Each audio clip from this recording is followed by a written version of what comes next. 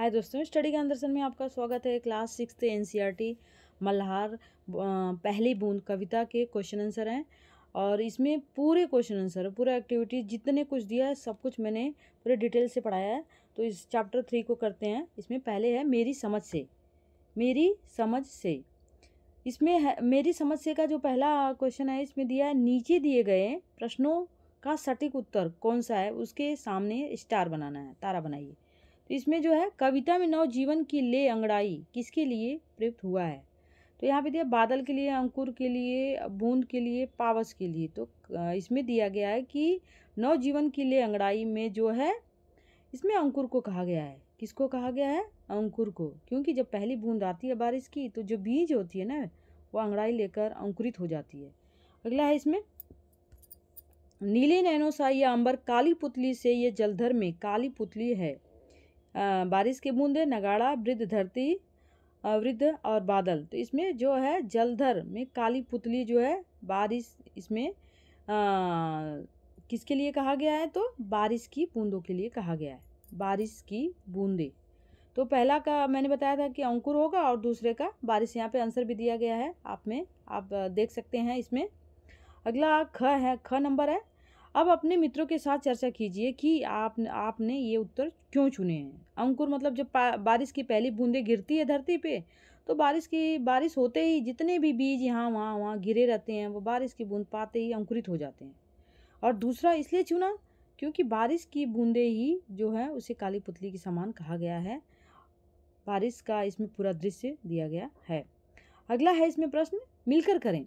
कविता की कुछ पंक्तियों, पंक्तियाँ नीचे दी गई हैं। इन पंक्तियों में कुछ शब्द रेखांकित हैं। दाहिनी और रेखा के शब्दों के भावार्थ दिए गए हैं।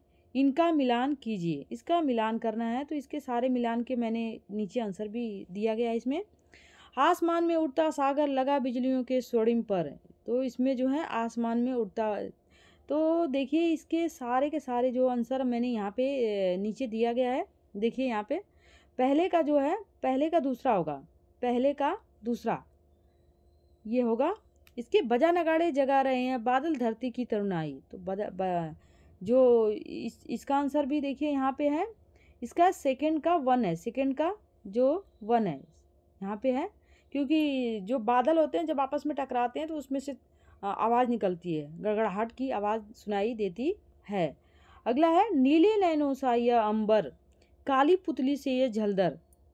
इसमें तीसरा का जो है, नीले नैनोसाई अंबर तो आकाश को कहा गया है। आकाश को कहा गया है, पढ़ाते समय। इसमें देखिए, आकाश है। वसुंधरा की रोमावली, सी हरी दूब पुल की मुस्काई। तो इसका जो होगा, हम इसका करेंगे एक मिनट। इसका दिया है, चार का तीन दिया है। यहाँ पे वसुंधरा, रोमावली, सी हरिदूब हरिदूब का मतलब ये हरी हरिदूब यहाँ पे देखिए, दिया गया है। ए तो इसका हो गया, मैचिंग। यहाँ आंसर भी दिया है और मैंने यहाँ पे मैचिंग भी कर दिया। ताकि आपको लिखने में आसानी होगी। नीचे आंसर, उत्तर भी दिया है सबका। पंक्तियों पर चर्चा करना है। कविता में से चुनकर कुछ पंक्तियाँ नीचे दी गई हैं। इन्हें ध्यान से पढ़िए और इस पर विचार कीजिए। आपको इनका क्या अर्थ समझ में आया? अपने विचार कक्षा में, अपने समूह में साझा करना है। आपस में डिस्कस करना है। लेखन पुस्तिका में लिखना भी है। आसमान में उड़ता सागर, लगा बिजलियों के स्वर्णिम पर। बजा नगाड़े जगा रहे हैं। बादल धरती की तरुणाई। नीले नैनो सा यह अंबर काली पुतली से ए जलधर। करुणा विगलित अश्रु बहाकर धरती की चीर प्यास बुझाई। इसका उत्तर हम करेंगे। यहाँ पे दिया है, आसमान में जल रूपी जो बादल हैं, बिजली चमक रही है। बादल चारों तरफ़ दिखाई दे रहे हैं। जैसे सागर बिजलियों के सुनहरे पंख लगाकर, ऐसा लगता है समुद्र ही पूरा पंख लगाकर ऊपर आसमान में उड़ा, उड़ता हुआ दिखाई दे रहा है। बादलों को सागर की तरह कहा गया है। बादलों की गर्जन सुनकर ऐसा आभास होता है, ऐसा लगता है कि वे नगाड़े बजा रहे हैं ज़ोर ज़ोर से नगाड़े की आवाज़ आ रही है। धरती की यवनता को जगा रहे हैं, धरती की सुंदरता को जगाने का प्रयास कर रहे हैं। नीला आसमान नीली आँखों के समान दिखाई देता है और काले बादल उनकी आँखों की नीली नीली पुतली के समान प्रतीत होते हैं। मानो बादल धरती के दुखों को दुखित होकर वर्षा रूपी आँसू बहा रहा हो। इस प्रकार धरती की प्यास बुझ जाती है। बारिश होते ही जो नीले नीले आसमान में बादल छाए हुए हैं वह बरसने लगते हैं और धरती की प्यास बुझ जाती है। चारों तरफ़ जो है, चारों दिशाओं में बादल जो है बरसने लगते हैं और जो धरती है, वो हरी भरी हो जाती है। सोच विचार के क्वेश्चन है। कविता को एक बार फिर से पढ़िए और निम्नलिखित के बारे में पता लगाकर अपनी लेखन पुस्तिका में लिखना है। यहाँ है बारिश की पहली बूंद धरती का हर्ष कैसे प्रकट करती है? अंकुरित होकर कविता में आकाश और बादलों को किसके समान कहा गया? आकाश और बादलों को जो है सा, सागर के समान कहा गया। जैसे उड़ते हैं ना आसमान में सागर जो है। अगला है इसमें धरती के सूखे ओठों पर बारिश की जो बूंद अमृत के समान गिरती है। एकदम ऐसा लगता है कि धरती पे गिरते ही वो अमृत है और जितने भी बीज हैं वो सब अंकुरित होने लगते हैं। मानव वर्षा होने से बेजान और सूखी पड़ी धरती में नवीन जान आ जाता है, जीवन मिल जाता है। सारे बीज अंकुरित होने लगते हैं, चारों तरफ़ हरियाली छाने लगती है धीरे धीरे इस प्रकार बारिश की पहली बूंद से धरती का हर्ष प्रकट होता है, उसकी खुशी प्रकट होती है। प्रस्तुत कविता के अनुसार, नीले आकाश को नीली आँखों के समान और काले बादल को उनकी नीली आँखों की काली पुतली के समान बताया गया है। तो जो नीले आकाश को नीली आँखों के समान और जो काले बादल को आँखों की जो पुतली होती है, उसके समान प्रतीत बताया गया है। इसमें कविता की रचना करेंगे। आसमान में उड़ता सागर, लगा बिजलियों के स्वर्णिम पर। कविता की इस पंक्ति का सामान्य अर्थ देखें तो समुद्र का आकाश में उड़ना असंभव होता है। लेकिन जब हम इस पंक्ति का भावार्थ समझते हैं तो अर्थ इस प्रकार निकलता है। समुद्र का जल बिजलियों के सुनहरे पंख लगाकर आकाश में उड़ रहा है। ऐसे प्रयोग न केवल कविता की सुंदरता बढ़ाते हैं, बल्कि उसे आनंद आनंददायक भी बनाते हैं। इस कविता में ऐसे दृश्य को पहचानना और चर्चा करना आपस में विद्यार्थी आपस में डिस्कस करेंगे। अध्यापक और बच्चे, ये एग्ज़ाम की दृष्टि से उतना महत्वपूर्ण नहीं है। अगला इसमें, अंकुर फूट पड़ा। अंकुर फूट पड़ा धरती से नवजीवन के लिए अंगड़ाई। कविता की इस पंक्ति में फूटने का अर्थ पौधे का अंकुर है। फूट का प्रयोग अलग अलग अर्थों में किया जाता है। फूट डालना, घड़ा फूटना आदि। फूट शब्द का प्रयोग ऐसे वाक्यों में कीजिए जहाँ इसके भिन्न भिन्न अर्थ निकलते हों। जैसे, अंग्रेज़ों की नीति थी, फूट डालो और राज करो। तो यहाँ पे जैसे, यहाँ पे अगर आप अपने इजी तरीके से अगर बनाना चाहते हैं तो इसमें बना सकते हैं। दोस्तों में फूट पड़ गई भाई, लड़ाई हो गई। उसका सिर फूट गया, किसी ने किसको मार दिया, सिर फूट गया। धरती से जल की धारा फूट पड़ी है, ये भी है।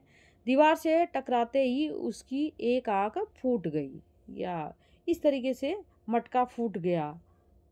तो आप अलग अलग तरीके से इसका वाक्य प्रयोग कर सकते हैं। इसका उत्तर है, अगला है, अनेक शब्दों के लिए एक शब्द बनाना है।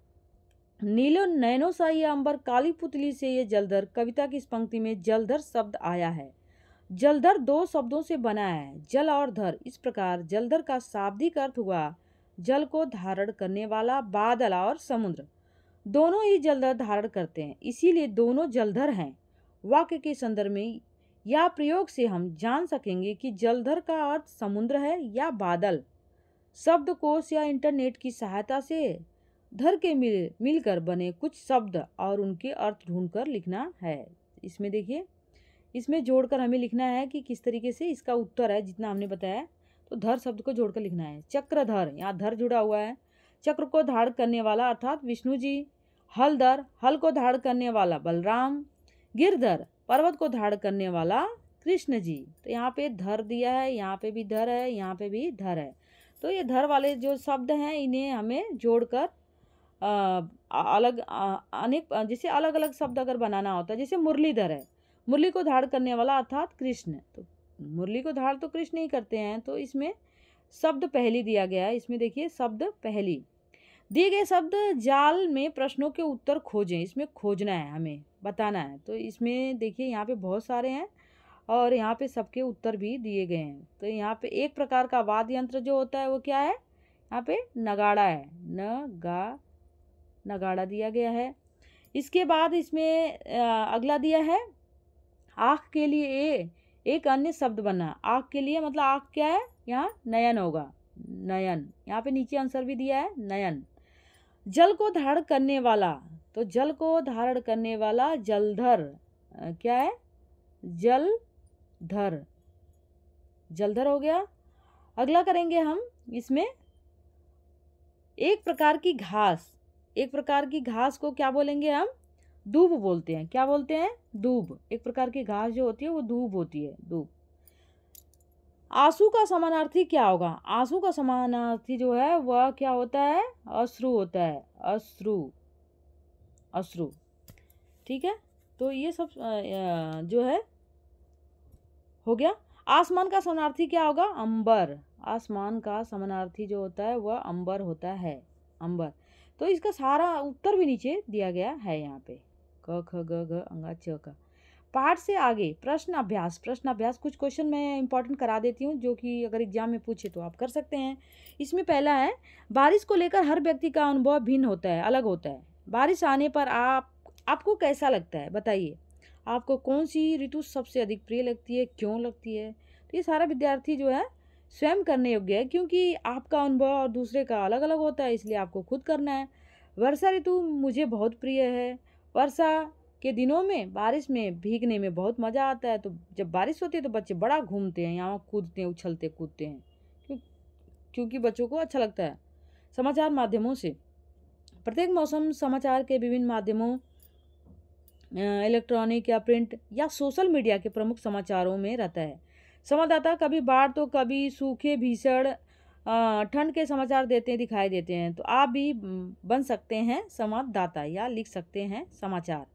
संवाददाता उसको बोलते हैं जो रिपोर्टर होते हैं जगह जगह से रिपोर्ट लाकर फिर उसको छापते हैं।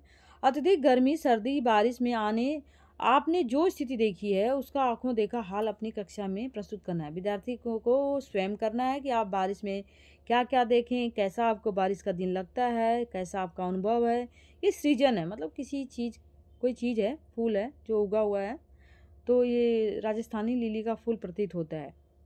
नाम दे, देना भी सीज़न है, ऊपर दिए गए चित्र को ध्यान से देखना है और उसे बताना है। तो ये रेगिस्तानी का, रेगिस्तान का, ये लिली का, ये फूल प्रतीत हो रहा है, रेगिस्तान में जो उगता है। अगला हम करेंगे इसमें, इन्हें भी जानते हैं। चलिए इसे भी जान लेते हैं क्या ये।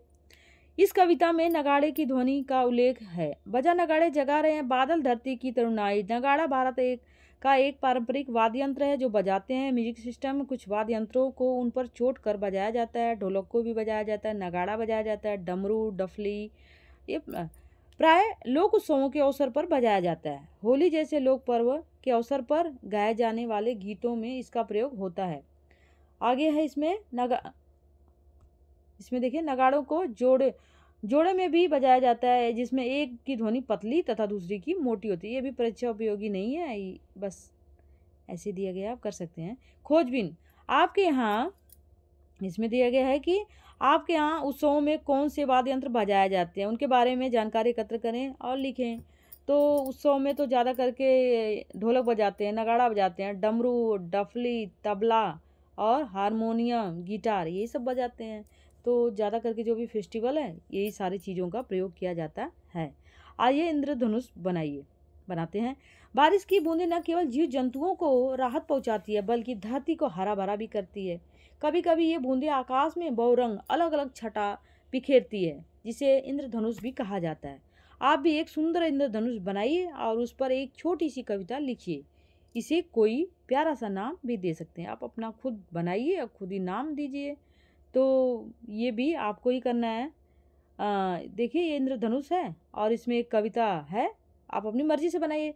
कितना प्यारा इंद्रधनुष है। आशाओं का संचार करता, खुशियों का विस्तार करता, कितना प्यारा इंद्रधनुष है जो प्रेम की पुकार बनता है, वर्षा के बाद आकाश को सजाता है, बचपन के किस्सों में को फिर से दोहराता है, रंग बिरंगे रंगों के रंग कर सारा संसार इंद्रधनुष समृद्धि के गीत गुनगुनाता है। प्रकृति का महिमा मंडन करता, निराशाओं का खंडन करता, कितना प्यारा इंद्रधनुष जो जीवन के हर पल का उत्सव बनाता। तो आप ऐसे इस तरीके से आप अपनी मर्ज़ी से अपने किसी एक नई कविता का सृजन कर सकते हैं। बहुविकल्पीय क्वेश्चन है एम सी क्यू क्वेश्चन है इसमें। पहली बूंद के धरा पर आने का क्या प्रभाव पड़ता है? अंकुर फूट पड़ते हैं। वसुंधरा की रोमावली किसे कहा गया है? हरी धूप को, धरती को, बादल को, बिजली को तो वसुंधरा की रोमावली धरती को कहा गया है। अगला प्रश्न है इसमें, पहली बूंद के धरा पर आने से बूढ़ी धरती के मन में क्या इच्छा उठती है?